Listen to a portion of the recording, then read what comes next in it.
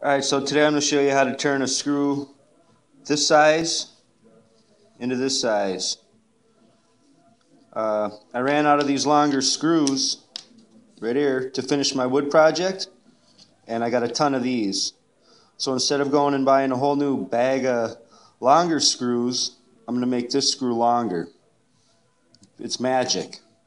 Um, what you do is take your spade bit and then just drill into the amount of wood through it to make the screw longer.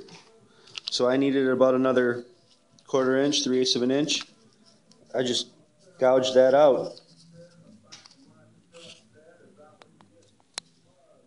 So now this screw will sink in an extra quarter inch, three eighths of an inch into the wood, making it come out long, come out the other side longer. So that's a little trick in making a short screw longer.